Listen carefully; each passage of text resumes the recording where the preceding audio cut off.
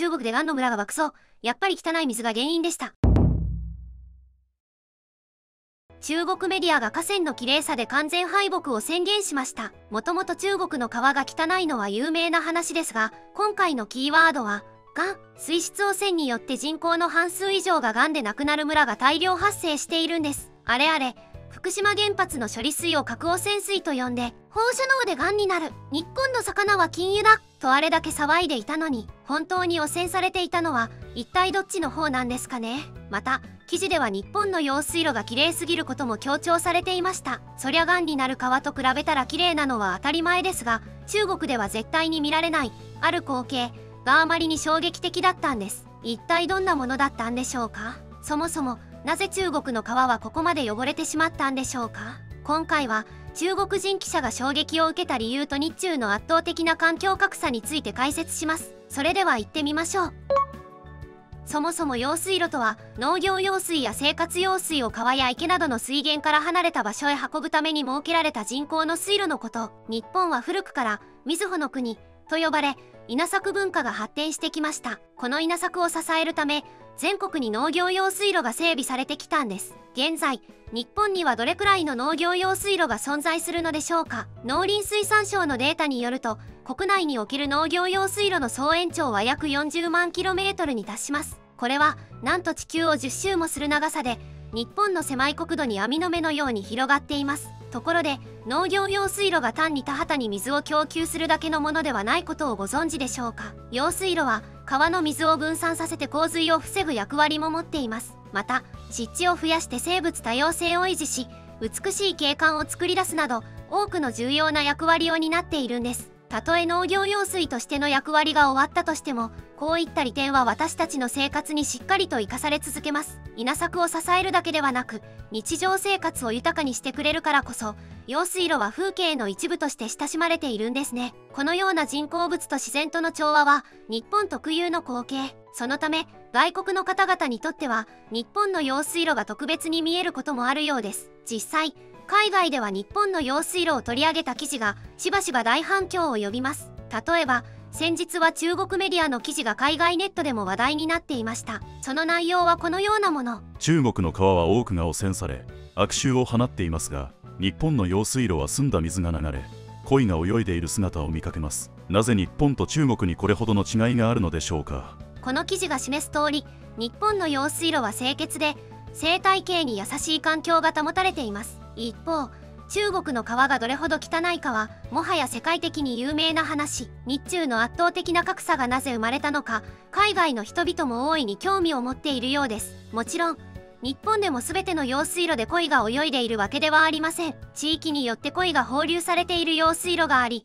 その美しい姿を多くの人々が楽しんでいます。中国の記者もおそらく何らかのメディアで日本の用水路で鯉が泳ぐ様子を目撃したのでしょう。このような光景は中国だけでなく世界中の人々に驚きを与えています。実際に日本を訪れて用水路で泳ぐ鯉の姿を見た外国人の多くが驚きの声を上げるそうです。汚染され尽くした川に慣れている中国人記者にとってはなおさらでしょう。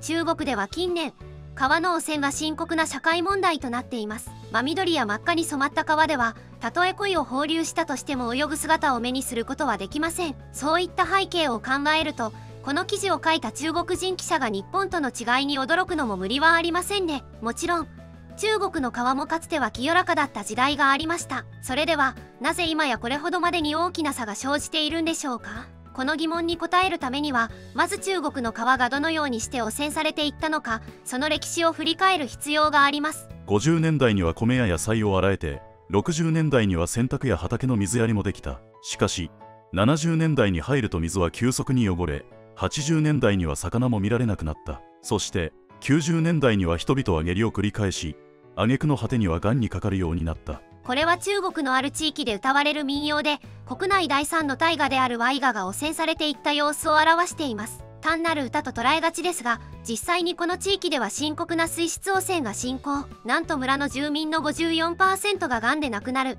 癌の村が発生するという事態にまで発展しました。この悲劇の主な原因は上流から流れてくる工場の未処理排水です。工場排水が川や井戸水を汚染しそれを生活用水として使い続けた結果村全体にがんが蔓延してしまったんです。皆さんは工場排水によって自然では考えられないような色に染まった川の写真を見たことがあるでしょうか？あんな水を飲んだり体を洗ったりしていたらそりゃがんにもなりますよね。実はこのような深刻な汚染はワイガ流域だけに限らず中国全土で問題となっています。中国にはがんの村と呼ばれる地域が20以上も存在すると報告されているんです。これらの地域では多くの水源が汚染されており国民が生活用水の不足に直面する危機的な状況にあります。ではなぜ中国の環境はここまで悪化してしまったのでしょうか。参議院事務局の環境委員会調査室で首席調査員を務める杉本勝則氏は中国の環境問題について次のように説明しています。中国は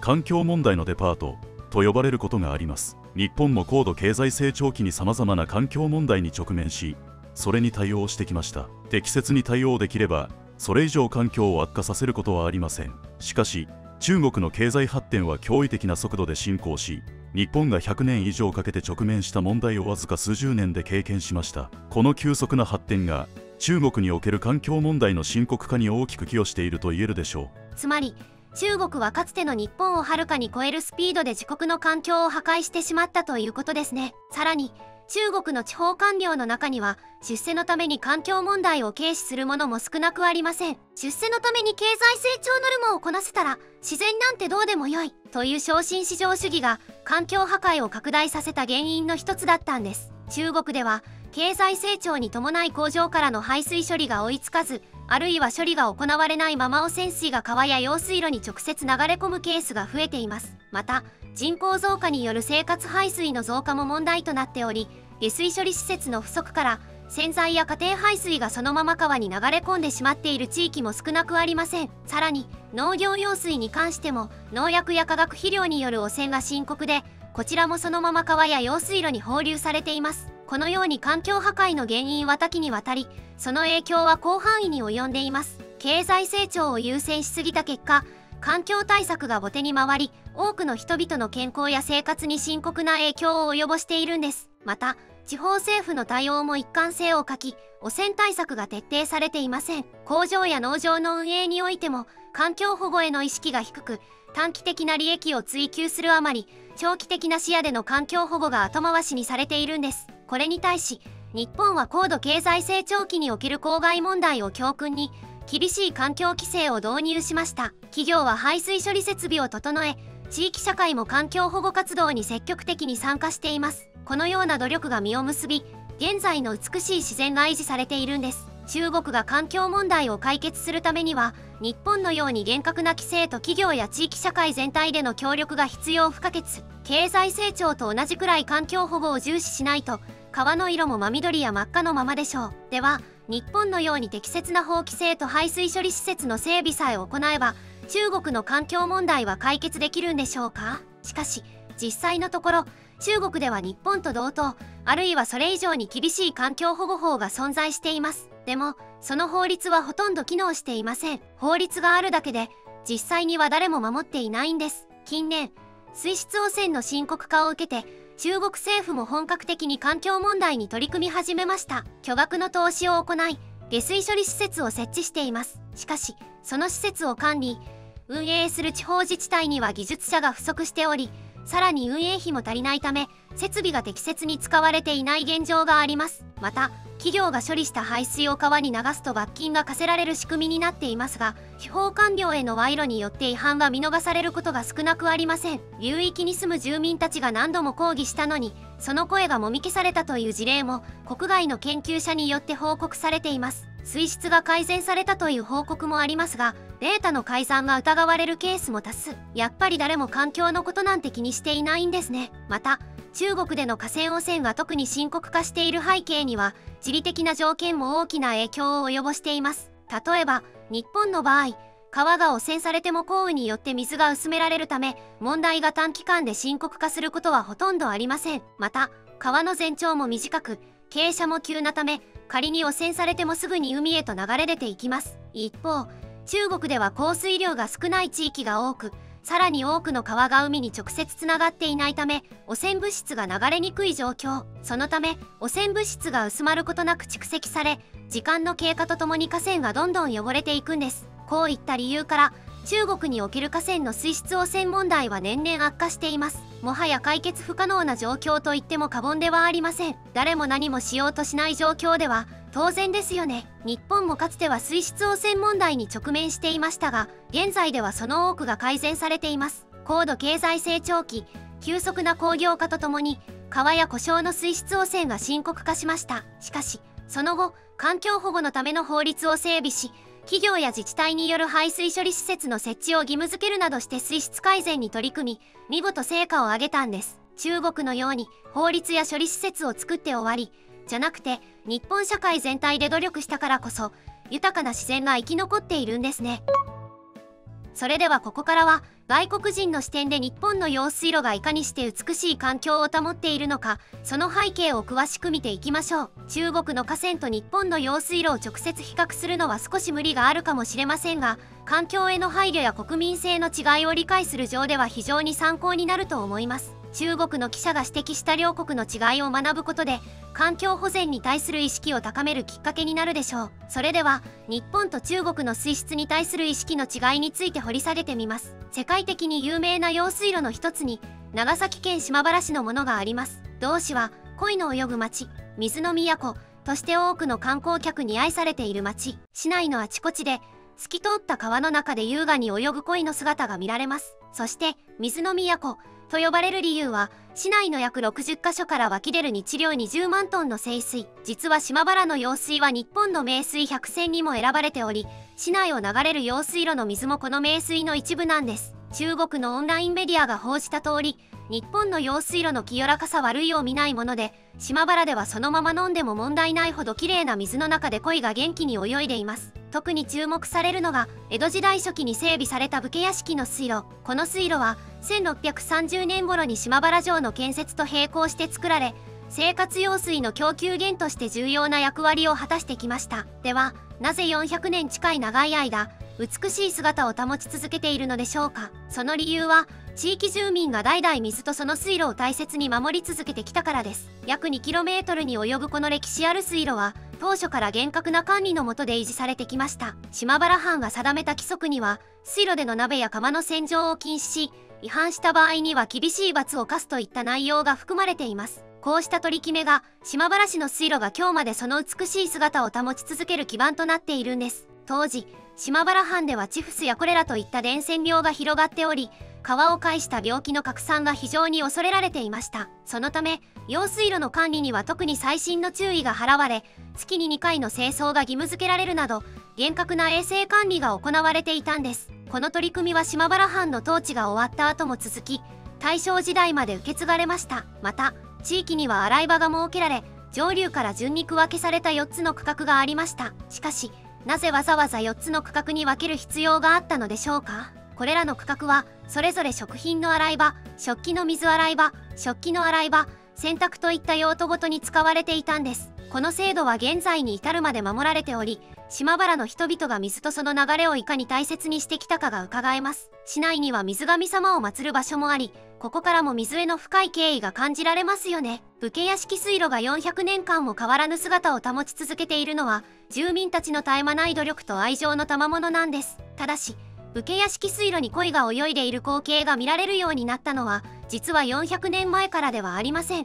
鯉が日本原産の魚であることは事実ですがその歴史は江戸時代中期にまで遡ります。つまり武家屋敷水路が築かれてから約200年後のこと。鯉の起源については新潟県長岡市の池で飼育されていた鯉が突然変異を起こしたという説が有力です。その後人々は鯉の美しい模様を引き出すために品種改良に力を入れました。現在私たちが親しんでいる赤や白の配色を持つ鯉が誕生したのは明治時代およそ160年前のことになります。それから時が流れ昭和53年に島原市は鯉の泳ぐ町として知られるようになりました。この年地域の豊かな水資源を守りながら観光資源としても活用し子どもたちの心を育む取り組みとして地域コミュニティによる鯉の放流が始まったんです。この素晴らしい伝統は今も変わらず続いており現在では用水路を泳ぐ鯉の生息数はなんと約1500匹島原を訪れると町の至る所で美しい水と鯉が織りなす風景に出会うことができます。400年の歴史を持つ用水路が現代にも息づいている姿を目の当たりにするとそれを守り続けてきた地域の人々の愛情を感じざるを得ません。私たちの祖先が大切にしてきた日本の自然と文化が海外の人々にも美しいと感じてもらえるのはとても誇らしいことですね。ただここで注意しておきたいのは用水路が綺麗だから鯉が生息しているわけではない。ということ。よく海外メディアでは鯉の存在を理由に水質の良さを称賛する記事が見られますが鯉は酸素の少ない水や汚れた環境でも生き抜くことができる非常に強靭な魚です。実際その寿命は非常に長く中には150年や200年も生きる個体もいます。これらの事実からも鯉が非常に強い生命力を持っていることが伺えますね。また鯉は雑食性で生ゴミを餌にすることから水を清潔に保つ役割も担っています。例えば小津の里として有名な滋賀県の針江集落では鯉を水質改善に利用する伝統が色濃く残っています。ただし鯉を無作為に放流するともともとその水域にいた生物を捕食してしまい生態系のバランスが崩れる恐れもあるという点も忘れてはいけません。日本の用水路が清らかで鯉が泳げる環境であること自体が重要なのではなく人々が鯉と用水路を適切に管理し生態系の保全と共存を図っている点が大切なんです。つまり地域住民が協力して高いモラルを持ちルールを守り続けた結果この美しい景観が守られているというわけです。実際日本の用水路について報じた中国の記者は次のように述べています。確かに日本の用水路は中国の河川とは違い家庭からの汚水は流れ込んでいないだろう。鯉が生息しているのもその生命力の強さによるものかもしれない。しかし大きな魚が街中の清流を泳ぐ光景は中国ではまず見られない。それは日本人が非常に清潔好きで環境保護に積極的に取り組んでいるからだと思う。そして鯉を捕まえて食べることをしない日本人の国民性がそうした用水路で鯉が泳ぐ風景を実現しているのだ。この発言から日本の用水路で見られる美しい景観は日本人の国民性によって生まれていると評価されていることがわかります。中国では自己利益を優先する企業や地方官僚が水質汚染を悪化させてきました水は地球上の全ての生命にとって不可欠であり人類を含む全ての生物は水がなければ生きていけません。中国の環境問題を解決するのも人の気持ちと行動です。上流の人々が下流の人々への配慮を持ち下流の人々が上流の人々の行動を信じて水を受け入れるお互いを信じ合い思いやる気持ちが大切でしょう。そして何より法律をしっかり守りせっかく作った処理施設もちゃんと運営しないといけません。それでは日本の用水路を取り上げた中国のニュース記事に対する海外の反応を見ていきましょう。警告標識や柵がなくても用水路をこれほど清潔に保てるなんて驚きだね。他国なら信じられない。と思うことでも日本ならさすがはと簡単に納得してしまうよ。ええ。誰も鯉を持ち去らないのを鯉は美味しいと聞くけど日本人は鯉を食べないのかな。中国なら1時間もしないうちに取り尽くされてるよ。水の汚染より先に人間の食料になっちゃうね。用水路には汚れた水が流れるのが当たり前だと思っていたよ。ちなみに僕の国の用水路には鯉ではなくアナコンダが住んでいるんだ。こんなにクリアな水が流れる用水路が本当にあるのか信じられない。次に日本へ行く機会があったら自分の目で見てみたいよ。それまでは半信半疑だな。いつかこの光景を自国で見られるようになるかなと考えてみたけど我々の国と日本では目指している方向性はまるで違う。日本に追いつくのは無理かもね。海外の人からしたら水路の美しさを長年保ち続けている日本人の技術や精神には感じ入るものがあったみたいですね。いかがでしたか？地方に住んでいる人にとっては田んぼの間を流れる綺麗な用水路は当たり前の光景かもしれませんが海外の人たちにとっては驚きの光景だったんですね。海外の人たちには東京や京都だけではなく島原市のような美しい地方都市にもぜひ一度訪れてほしいものです。我が国にはまだまだ私たちが気づいていない魅力や素晴らしい文化がたくさんあります。日本の用水路もまさにその素晴らしい文化の一つです。このような美しい遺産を残してくれた祖先たちに感謝し彼らの自然に対する尊敬の意識を次世代にも継承していきたいですね。よかったら皆さんの意見や感想も聞かせてください。それでは最後まで見ていただきありがとうございました。